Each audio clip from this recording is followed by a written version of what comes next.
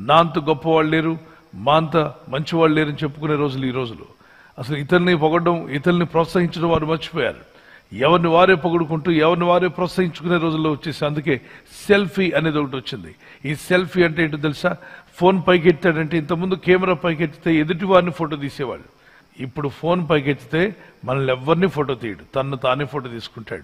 వారి ఫోటో వారు చూసుకుని ముసిముసి నవ్వులు నవ్వుతూ పెళ్ళి కూతురు పెళ్ళి కొడుకుని చూసినట్టుగా వాళ్ళకి వాళ్ళే నవ్వుకుంటూ ఉండే రోజుల్లో వచ్చేసాం. అంటే ఈ దినాలు స్వార్థపూరితమైన దినాలు అన్నాడు.